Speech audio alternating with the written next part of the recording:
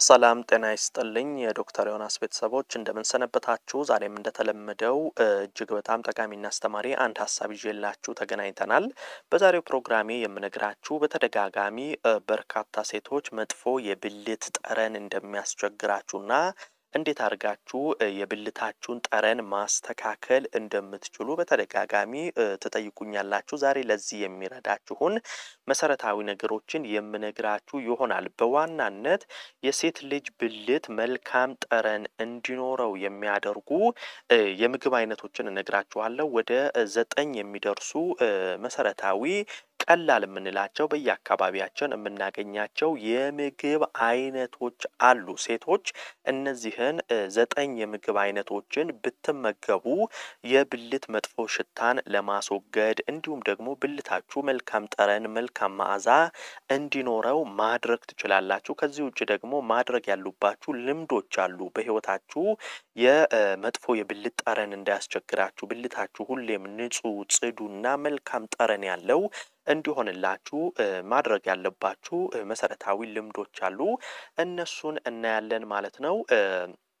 አብራችሁኝ ቆዩ። ዶክተር ዮናስ ነኝ። ለቻናሌ አዲስ የሆናችሁ ቻናሌን subscribe በማድረግ ቤተሰብ እንድትሆኑ እጋብዛለሁ። በነገራችን ላይ በሴት ልጅ ላይ የብልት ሽታ የሚፈጠረው በምን ምክንያት ነው የሚለውን ስንመለከት በዋናነት የ pH scale አችሁ ሲዛባ ነው። እንግዲህ አንድ ሴት ልጅ የ pH scale ዋ ከተዛባ ለመጥፎ የብልት ጠረንና ለተለያዩ የብልት ችግሮች ትጋለጣለች። ለብልት ድርቀት ሊሆን ይችላል።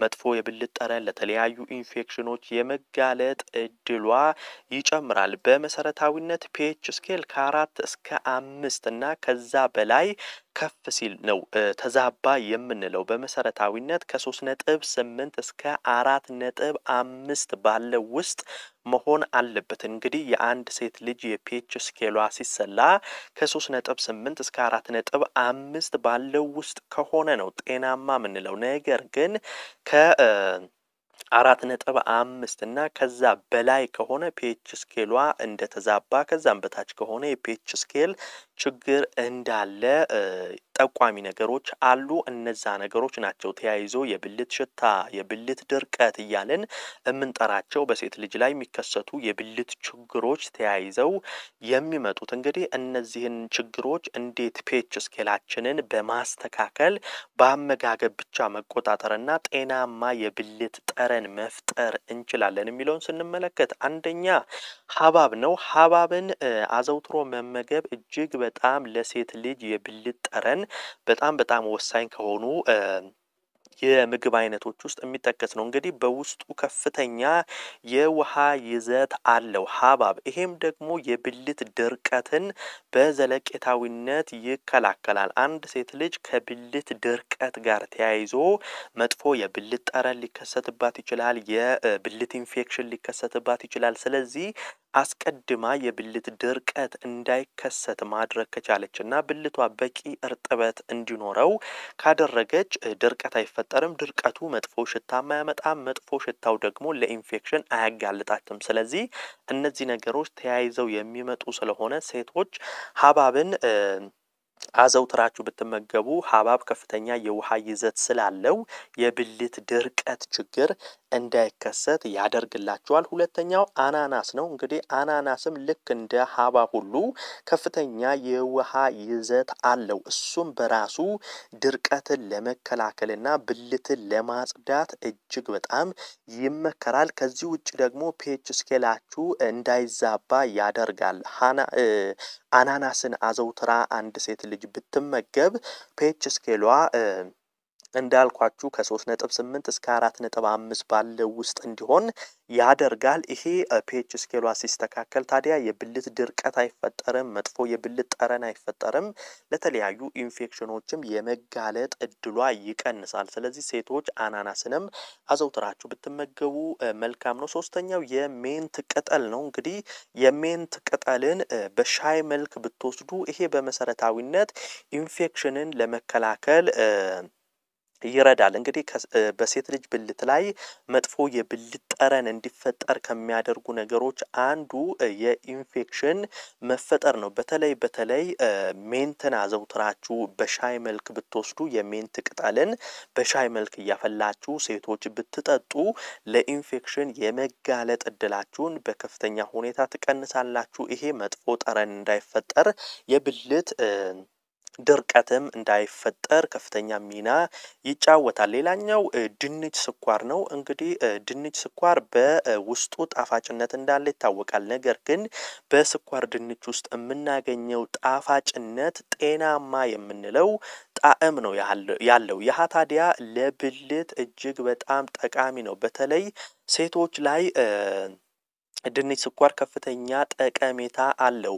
ከመጥፎ የብልት ጠረን ጋር ተያይዞ ብቻ ሳይሆን አንድ ሴት ልጅ የማርገዝ እድሏ ከፍተኛ እንዲሆን ከሚያደርጉ ነገሮች አንዱ ድንች ስኳር ነው። ይሄ ለሴቶች ብቻ ሳይሆን ለወንድም ነው። በነገራችን ላይ ከመውለድ ችግር ጋር ተያይዞ የተለያዩ ችግሮች ከተከሰተባችሁ ድንች ስኳርን አዘውትራችሁ ብትመገቡ ሴቶች የማርገዝ እድላችሁ በከፍተኛ ሁኔታ እንዲጨምር ያደርጋል። ወንዶችም ደግሞ የስፐርም ግፊትንና ውፍረትን በከፍተኛ ሁኔታ ስለሚጨምር የማስረገዝ እድላችሁ በከፍተኛ ሁኔታ ይጨምራል። ከዛ ውጪ ከእርግዝና ውጪ ለብልት መልካም ጠረን፣ ለብልት እርጥበት ከፍተኛ ሚናን ይጫወታል። ሴቶች ድንች ስኳርን አዘውትራችሁ ብትመገቡ እጅግ በጣም መልካም ነው። ሌላኛው ጎመን ነው። እንግዲህ ጎመንም በየአካባቢያችን በቀላሉ ከምናገኛቸው ምግቦች ውስጥ ይጠቀሳል። ጎመንን ከሌላ ምግቦች ጋር በማደባለቅ አዘውትራችሁ ብትመገቡ ይህም በራሱ ለሴት ልጅ ብልት መልካም ጠረን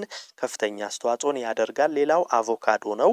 አቮካዶ እንግዲህ ለብልት ጤና እጅግ በጣም ጠቃሚ የሆኑ ንጥረ ነገሮች በውስጡ ይገኛሉ። አንድ ሴት የብልት ድርቀት እንዳይከሰትባት በተለይ በተለይ ደግሞ ከእድሜ መጨመር ጋር ተያይዞ በርካታ ሴቶች የብልት ድርቀት ችግር ይከሰትባቸዋል። ይሄንን በዘለቄታዊነት ከሚያስወግዱ ምግቦች ውስጥ አቮካዶ ነው። በአቮካዶ ውስጥ የምናገኛቸው የተለያዩ ንጥረ ነገሮች አንድ ሴት እድሜዋ እየጨመረ በሚሄድ ጊዜ የሚከሰት የብልት ድርቀትን በዘለቄታዊነት ለመከላከል ከፍተኛ ሚናን ይጫወትልናል። ሌላኛው የቫይታሚን ሲ ይዘት ያላቸው ምግቦችን አዘውትሮ መመገብ በዋናነት እንጆሪን ብትመገቡ ከብልት መጥፎ ጠረን ጋር ተያይዞ ያለ ችግርን ለመቅረፍ በጣም ይረዳል። ቫይታሚን ሲ ይዘት ካላቸው ነገሮች ውስጥ እንጆሪ በዋናነት ይጠቀሳል። ታዲያ እንጆሪ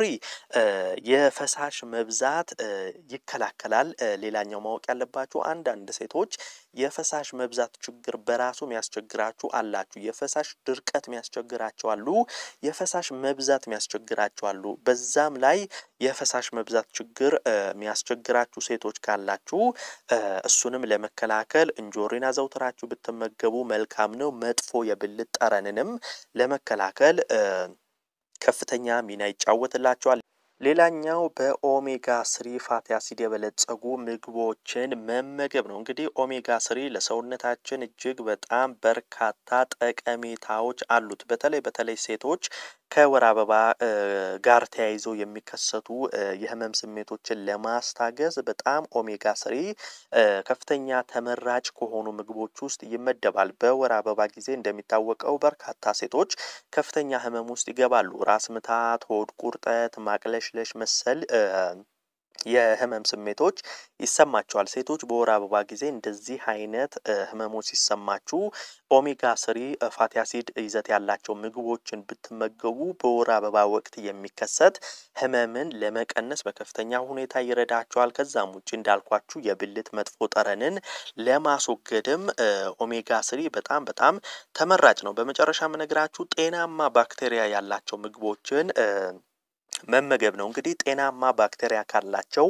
ምግቦች ውስጥ በዋናነት የሚጠቀሰው እርጎ ነው። እርጎ እንግዲህ በውስጡ ከፍተኛ ጤናማ የሆነ ባክቴሪያ እናገኛለን። ይሄም ከአንጀት ጋር ተያይዞ የሚከሰቱ ችግሮችን ለመቅረፍ በጣም ይረዳናል። ከዛ ውጭ ደግሞ በእርጎ ውስጥ የምናገኘው ጤናማ ባክቴሪያ የሴት ልጅ የብልት መጥፎ ጠረንን ለመከላከል የብልት ድርቀትን ለመከላከል እና መሰል ከሴት ልጅ ብልት ጋር ተያይዞ የሚከሰቱ ችግሮችን ለመቅረፍ እጅግ በጣም ተመራጭ ነው። ስለዚህ እርጎንም አዘውትራችሁ ብትመገቡ ሴቶች መጥፎ የብልት ጠረንን ማስወገድ ትችላላችሁ።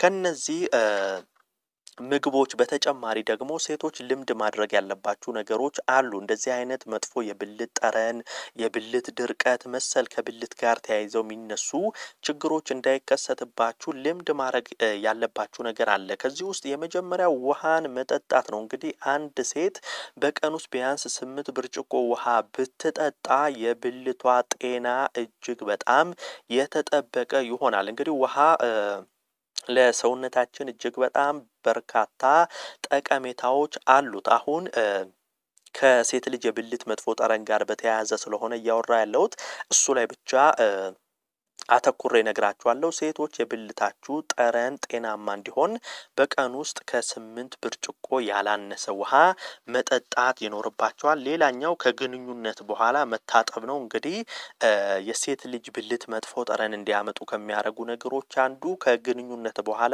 አለመታጠብ ነው። ይሄ በግንኙነት ሰዓት ላይ በርካታ ፈሳሾች ይፈጠራሉ። የወንዱ የዘር ፈሳሽ ውስጥሽ ከተረጨ እነዛ ነገሮች እዛ ከቆዩ በቀላሉ የኢንፌክሽን ችግር እንዲከሰት ያደርጋል። ስለዚህ ሴቶች ከግንኙነት በኋላ ምን ጊዜም በተገቢው መንገድ በመታጠብ የብልታችሁን ጤና መጠበቅ ትችላላችሁ። በአጠቃላይ እነዚህን አሁን የነገርኳችሁን ነገሮች በማድረግ ሴቶች የብልታችሁ ጤና እንዲጠበቅ ማድረግ ትችላላችሁ። መጥፎ ጠረንም እንዳይፈጠርባችሁ ማድረግ ትችላላችሁ ማለት ነው። ዶክተር ዮናስ ነበርኩ። ይህን ሀሳብ like፣ share እያደረጋችሁ ሌሎችም ጋር እንዲደርስና እንዲማሩበት እንድታደርጉልኝ በክብር እጠይቃለሁ። ለቤት አዲስ የሆናችሁ ቻናሌን subscribe በማድረግ ቤተሰብ ሁኑ። የዛሬን በዚሁ አበቃው። በቀጣይ ቀን በአዲስ አስተማሪ ሀሳብ ዳግም እንገናኛለን። እስከዛው በያላችሁበት መልካም ጊዜ